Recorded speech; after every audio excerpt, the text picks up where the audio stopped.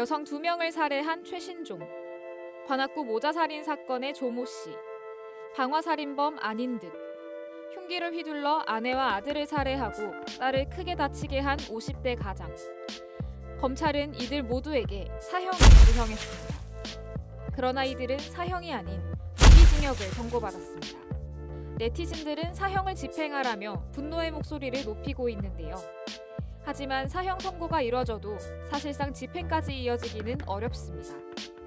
한국은 1997년 12월 30일 이후 사형 집행을 하지 않아 국제사회에서 실질적 사형 폐지국으로 분류됩니다. 작년 리얼미터의 조사 결과에 따르면 사형 집행 찬성 주장은 51.7%, 사형 집행 반대 및 폐지 주장은 45.7%로 집계됐는데요.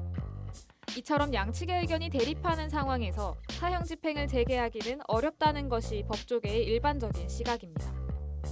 그러나 헌법재판소는 사형 제도에 대해 두 차례 합헌 결정을 내린 바 있습니다.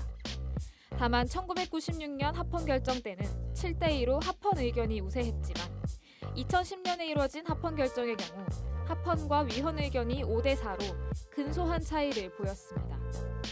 세계적으로도 사형을 폐지하는 국가가 늘고 있는 추세인데요.